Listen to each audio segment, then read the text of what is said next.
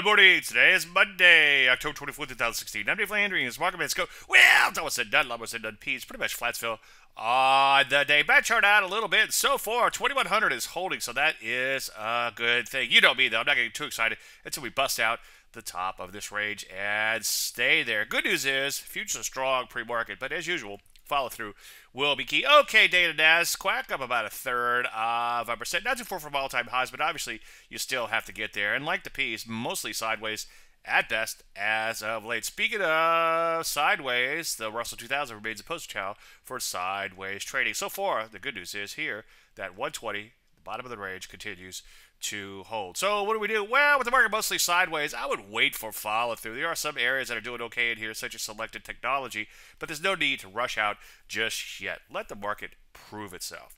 Any questions? As usual, Dave at DaveLandry.com. I'm Dave Landry, and you just heard Market Minute.